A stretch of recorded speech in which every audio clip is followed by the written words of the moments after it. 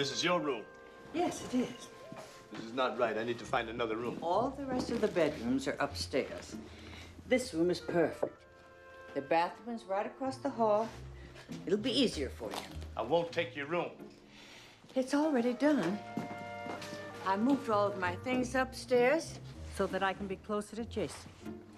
You will stay here, and there's nothing you can do about it. I think she's mad at me.